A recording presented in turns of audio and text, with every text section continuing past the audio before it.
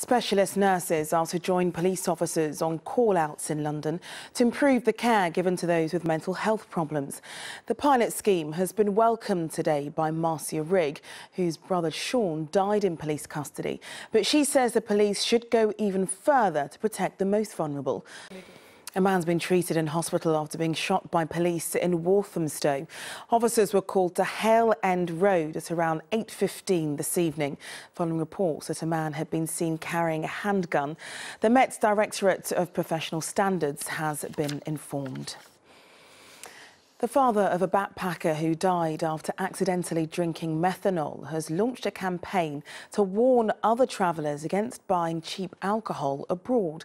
Cheznye Emmons from Essex drank what she thought was gin while on holiday in Indonesia, but it turned out to be highly poisonous. Cheznye's father, Brenton Emmons, ending that report from Rags Martel.